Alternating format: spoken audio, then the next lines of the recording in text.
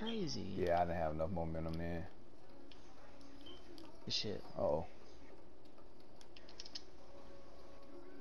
Good shit, Wes.